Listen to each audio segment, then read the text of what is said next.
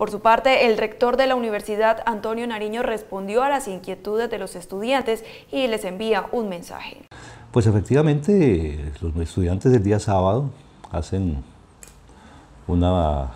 asamblea, una reunión, la Facultad de Psicología, la Facultad de Ingeniería y la Facultad de Educación, sobre la base de, un derecho de petición que ellos envían,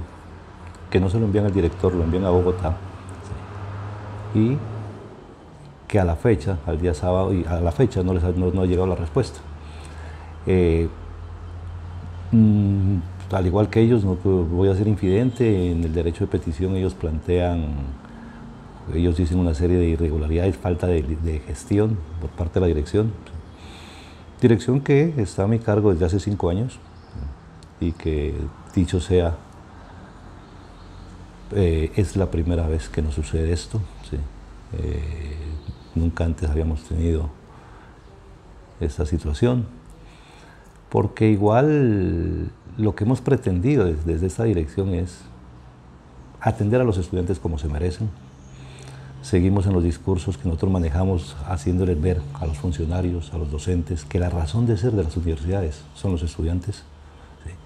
Y en eso hemos tratado de hacer lo que realmente los cánones de la administración nos han enseñado. No nos vamos a lavar las manos porque de hecho, pues hombre, las cosas queda que mejorarlas, para eso estamos. Eh, es posible que no haya como la suficiente comunicación, además porque pues la modalidad que nosotros tenemos de educación es distancia, los muchachos únicamente vienen dos veces en semana, que son los viernes y sábado, otros vienen el jueves y viernes, pero que igual sí, solamente son dos días en semana que vienen y como le digo, sí, eh, es posible que nos haya faltado eso. ¿Cuántos estudiantes? Eh? En estos momentos la universidad tiene, tenemos matriculados 123 estudiantes en las facultades de educación, en la facultad de ingeniería electromecánica, eh, en la facultad de psicología. Estamos, si queremos, si queremos retomar ese proceso de crecimiento que ha tenido la universidad, pero pues estamos también a la espera en el momento cuando, y yo creo, Carlos Humberto, que sí, sí, porque los muchachos de pronto, muchos de ellos desconocen las labores de gestión que se hace acá, porque nosotros, por ejemplo, a nivel de gestión como directores, cada ocho días, todos los sábados, estamos elaborando el informe de gestión semanal para